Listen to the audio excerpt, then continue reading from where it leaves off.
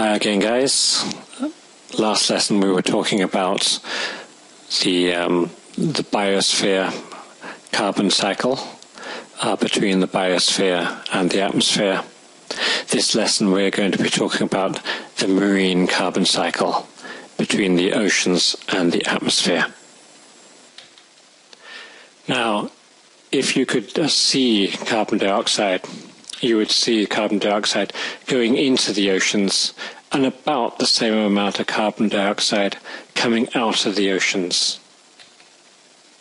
But actually, the carbon cycle is, um, the marine carbon cycle is much more complicated than that.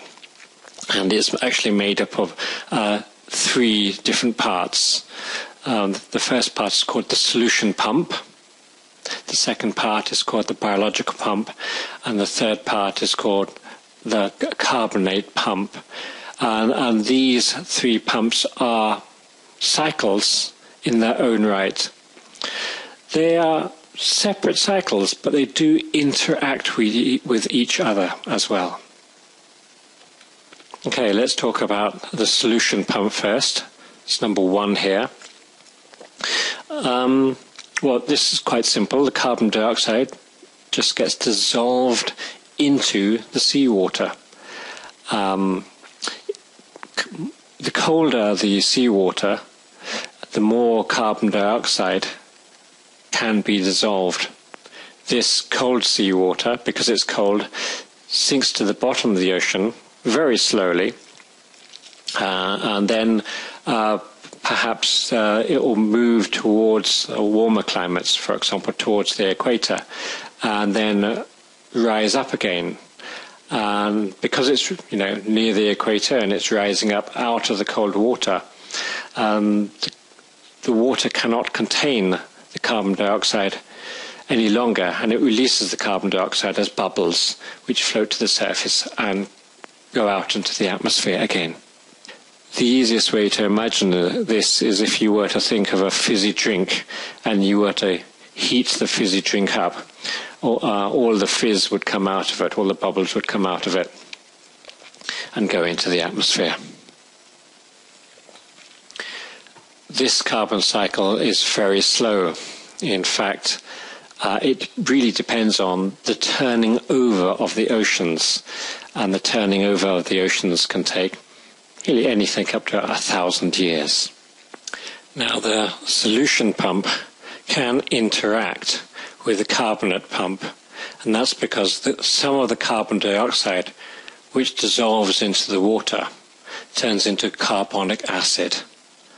And the carbon dioxide which turns into the carbonic acid can make up part of the carbonate pump, which is number three.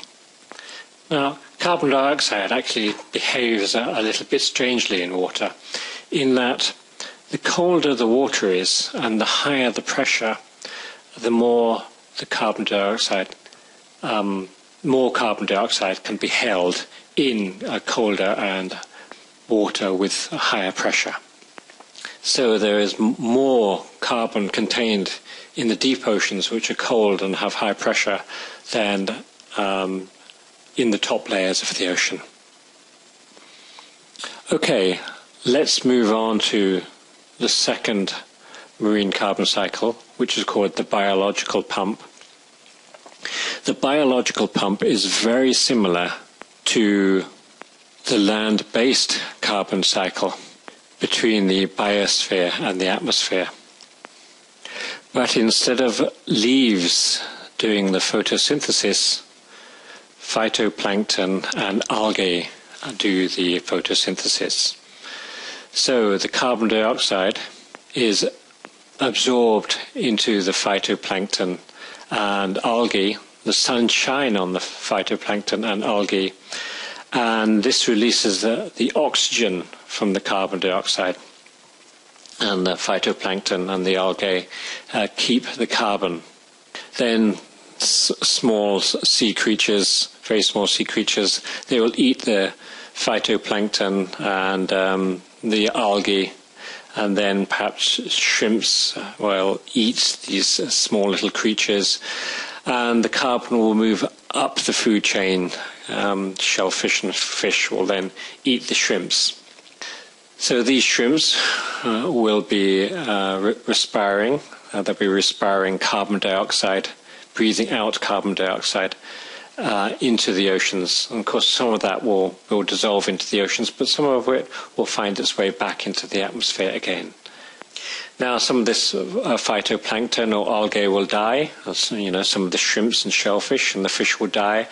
And as they float, or as they sink, I should say, to the bottom of the ocean, uh, they decay. Uh, the bacteria eats them, biodegrades them, and the bacteria once again breathe out the carbon dioxide, um, which can find its way out of the ocean back into the atmosphere again. Okay, so that was the, the biological pump there. So, so far we've had the solution pump and the biological pump. It's quite interesting. The, solution pump, you can almost think of it as a, a sort of physical pump. And the biological pump, yes, it's to do with biology. But the carbonate pump is a chemical reaction which goes on in the sea. So let's start off with the carbon dioxide. The carbon dioxide can enter the ocean and then um, some of it can turn into carbonic acid. Carbonic acid is a, is a very weak acid. But from carbonic acid, because it's an acid, it can lose a hydrogen ion and become a bicarbonate ion. And then from a bicarbonate ion, it can lose another hydrogen ion to become a carbonate ion. Let's have a look at the formula for that. So this here is the formula. Uh, so we said the carbon dioxide enters the water. It reacts with the water to create carbonic acid. Um, the carbonic acid can lose a hydrogen ion, which can just go off and float off in the sea somewhere, um, leaving behind uh, bicarbonate ions. The bicarbonate ions can then lose another hydrogen ion and become carbonate ions. The sea is actually normally saturated with carbon, uh, carbonate ions. Let's go back and look at the diagram again. So here's this process again. The carbon dioxide entering uh, the oceans, reacting with water, creating a weak carbonic acid, uh, which then can change into bicarbonate ions and then change into carbonate ions. Notice here I've drawn in arrows, double-ended arrows. This is to illustrate that the reaction is an equilibrium reaction. And what does that mean? Let's uh, have a look at another diagram. I want you to imagine two beakers full of, well, there's some water in two beakers, and they're joined together with a pipe at the bottom.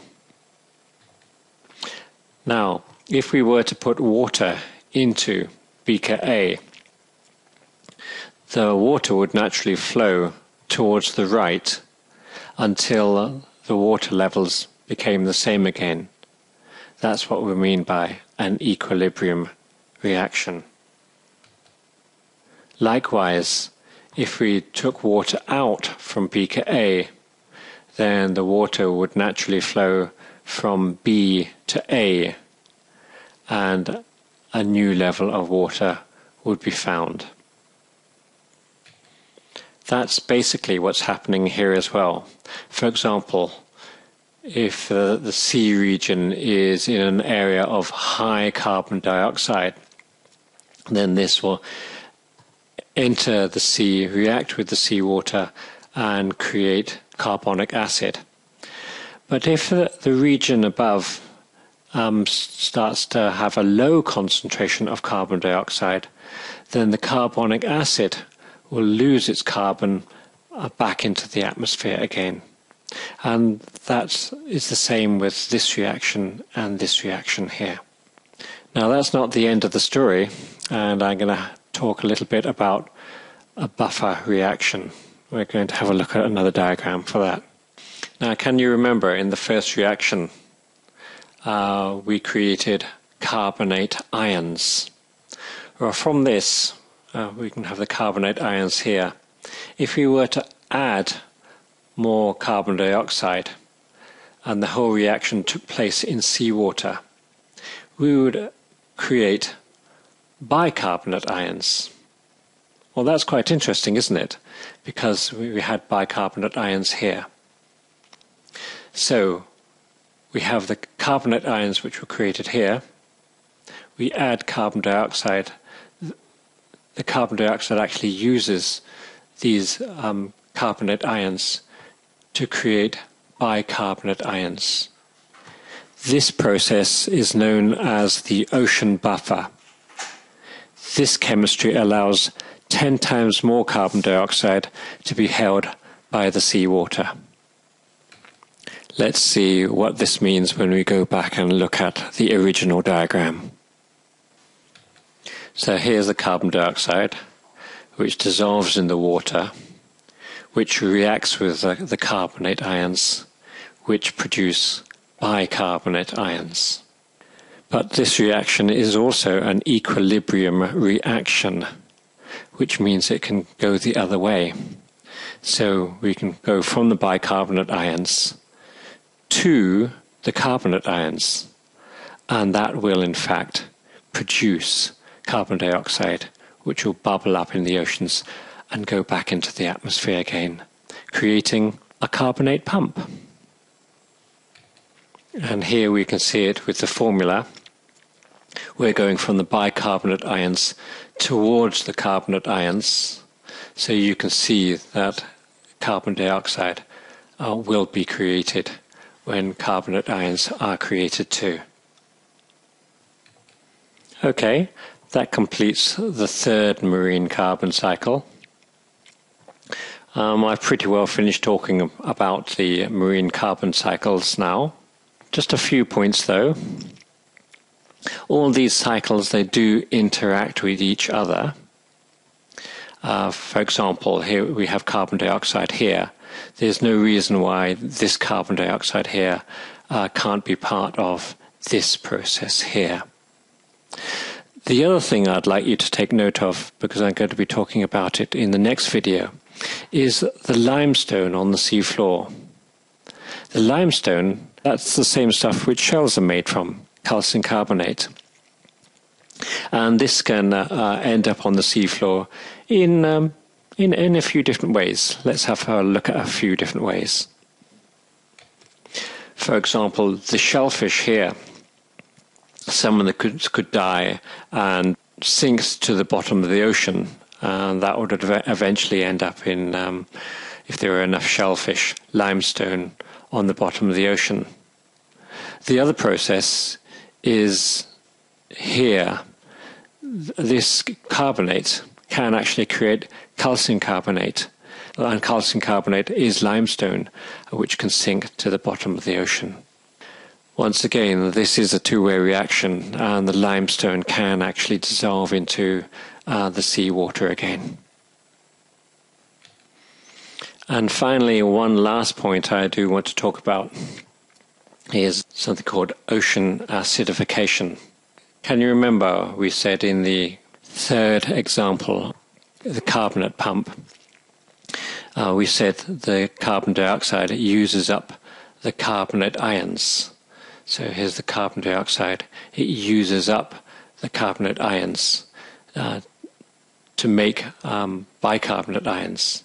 But low carbonate ions cause calcium carbonate, that's seashells, and coral reefs to dissolve. In other words, the carbonic acid uh, is reacting with the seashells. So that's called um, ocean acidification. And we'll just have a, a quick look at a weak acid reacting with calcium bicarbonate, in other words, seashells or coral reefs. As you will see, this extra carbon going into the, the seawater, the extra carbon which humans produce, this anthropogenic carbon, uh, it doesn't look like it's very good for creatures with shells or coral reefs either.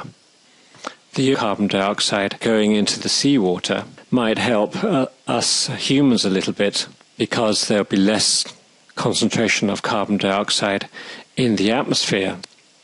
So that should mean there's less global warming. But it's not such good news for the fish and the seashells in the ocean. Okay, watch this little clip. Okay, here is a demonstration of uh, calcium carbonate dissolving. On the right here we have normal chalk, the same sort of chalk I use on a blackboard. And on the left, just zooming in here now, we have a shell. This shell and uh, the piece of chalk, they are dissolving in a weak acid. In this case, it's vinegar. But um, the same reaction would happen with carbonic acid as well, because carbonic acid is a weak acid. Uh, we can see the carbon dioxide bubbles um, coming off the shell as it dissolves into the water.